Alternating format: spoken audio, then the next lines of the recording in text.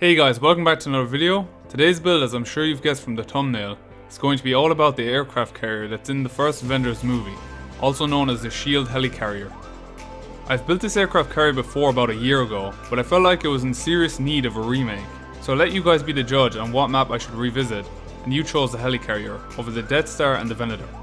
But that does not mean I won't revisit these projects later on in the year. Now if some of you guys are new to this channel, please consider subscribing at the end of the video if enjoyed, and if you want to see more of my Fortnite creative maps. With all that being said, let's start this project.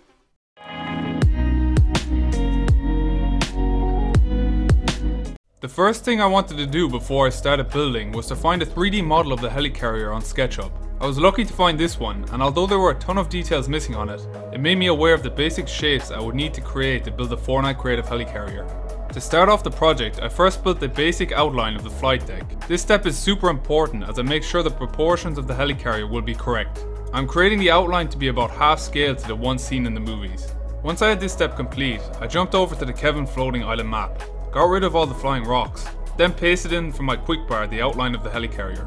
Now I could start working on building the flight deck of this ship.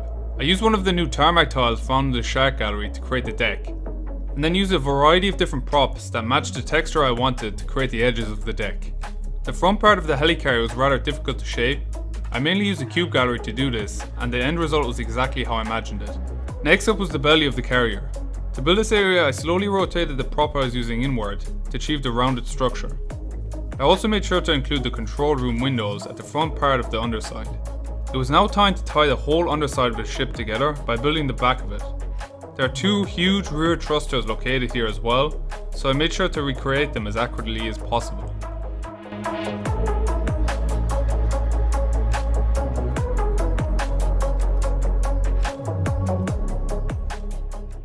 The next structural component I had to build for the helicarrier was the bridge and the air traffic control tower. I took my time with this as I wanted to make sure the proportions of it matched the rest of the ship, and I think I captured it pretty well once it was finished course we are building a helicarrier here, so it needs a flight system. In this case there are two propellers located at either side of the ship. I built the basic shapes out of the cube gallery first, before adding any detail to them. Once this had been completed, I started creating the blades of the propeller out of the ring gallery, and the turbine at its centre out of the props I found in the Dusty Depot gallery. The main structure of the helicarrier had now been completed, so I went ahead and started adding the runway markings to the flight deck. Again, wanting this project to be as accurate as possible, I decided to build a shield logo out of the cube gallery on the grid island, and then duplicated it onto the front section of the flight deck.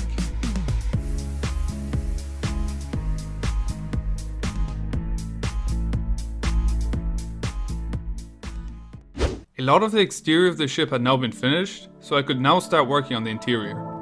On the back of the helicarrier there is a hollow section, which I assume is for docking smaller ships when it's in the water. This is the first interior section I started working on, where I built structural columns on either side of the hull's interior. I then went ahead and built the windowed area towards the centre of the helicarrier, which acts as a border for the docking area and the main interior. This is also where the ship's lab is located. Now I could start mapping out the corridors and stairways inside the ship that will lead to the various different rooms. This is also a very important step when building the interior, and I would always encourage doing it before creating any rooms as the hallways and stairs make the ship accessible. To make the interior more interesting, every corridor is also different in design.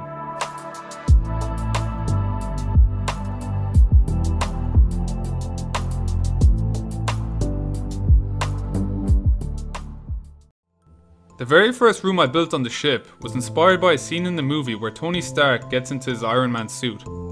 Before I started working on the suit itself however, I created the storage room, along with the case in which his suit is kept first. Sculpting the Iron Man suit however would be no easy task, and I used these props which are mostly in the Art Deco gallery to do it. Every prop had to be meticulously reshaped and rotated before being placed. I was constantly looking at reference images to make sure I got the look of the suit right, and used my character to get the scale and proportions of the suit correct.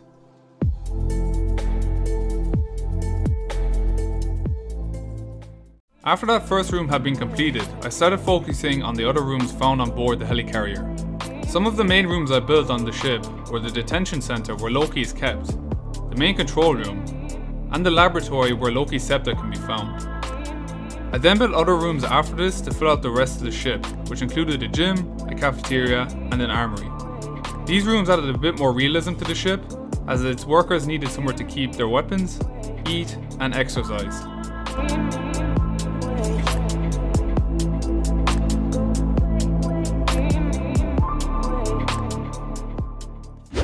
This stage the helicarrier was pretty much finished, but of course you can have an aircraft carrier without vehicles. For this map I wanted to build two aircraft. One was based off the F-35 fighter jet as you can see it in the movie, and the other one was a Quinjet which acts as a personal transporter and attack vehicle. The first one I built was the F-35 jet and took about 3 or 4 hours to complete. I actually managed to keep this just under 100 props so I could copy the whole thing to my quick bar. Then I went ahead and created the Quinjet which also features a full interior. Unfortunately I couldn't keep it under 100 props which makes transferring it to the helicarrier map more difficult. Once I was happy with my designs, I copied them to my quickbar and placed them on my helicarrier. I also placed one F-35 at either side of the ship to give the appearance of them escorting it.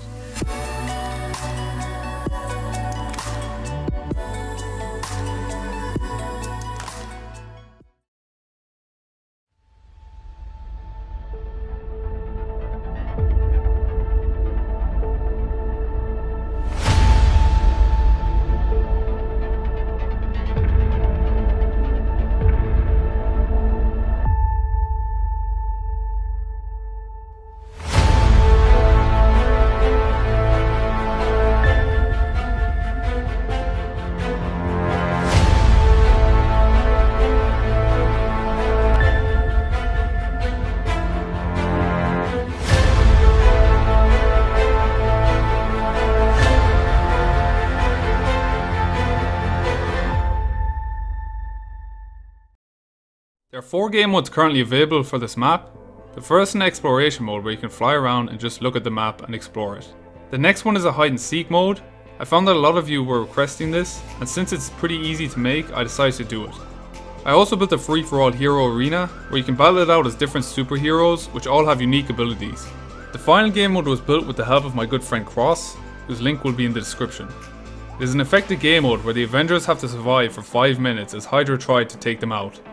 The map I will be featuring in today's video was built by Commander 1117YT. It is an ATK race game mode which you don't see very often.